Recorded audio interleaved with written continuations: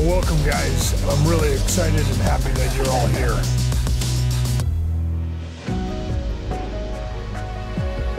Yeah, and we've got incredible growing areas on Howell Mountain. Howell Mountain, perhaps more than any other place, whenever I taste the wines, it brings me to this spot.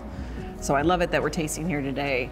But there's just something about them that captures the feel you get when you're up here. And the, the forests around, the soil, everything is somehow throughout all the different varieties and vintages, that theme is running through it. And I love that about Howell Mountain wines.